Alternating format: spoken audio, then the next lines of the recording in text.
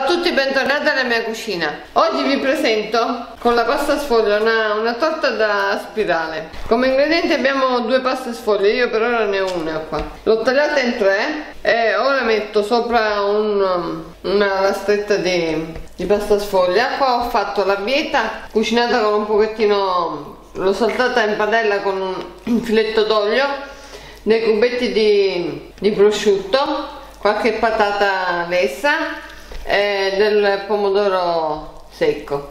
Ora metto un pochettino sopra. E un pochettino di formaggio ho messo pure. Dopo aver messo l'impasto ora cerchiamo di chiudere per bene. Poi io ne faccio un altro con la mortadella e della scamorza e questo lo andrò a fare col salame o con eh, prosciutto. Voi potete adoperare anche altri condimenti. Ho preso una tortiera dal diametro 24 con carta forno sotto ed ora mettiamo tutto attorno. Continuate così fino a che finisce che si chiude la teglia. Ed ora ho spennellato con un tuorlo d'uovo e poi ogni strato faccio uno strato di semi di papavero e uno di, di sesamo.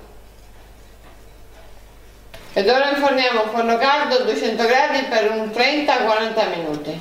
Ed ecco pronta la nostra torta a spirale, vedete? C'è la verdura, il rotolino col formaggio, il prosciutto, salame. È davvero una bella idea. Io mi auguro la possiate provare. Mi scrivete nei commenti se vi piace, se non vi piace, come vi è venuta. Un bacione da Francesco Salvatore, ciao alla prossima.